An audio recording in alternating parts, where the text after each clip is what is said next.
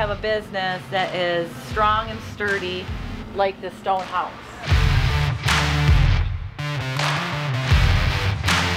The packaging room should not have any kind of moisture or water close to it. Tony, this is not acceptable. It's a huge struggle of mine that I have to deal with, and I'm just working through um, processes so that I can figure out how to get it to happen. Right.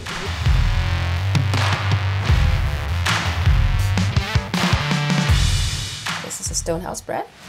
Beautiful crumb. But look what happens. all of us need to work on our attitudes, like myself included. They have to hurry bread. Some of it doesn't get baked completely as well as it should. When that bread's coming out of the oven and you look at the bread on those racks, you're gonna be very impressed with the way it looks, the way it smells, and then we put this wrapper on. And you set those side by side, really different. You are not a commercial baker quite yet, but it's my job to make you guys go there.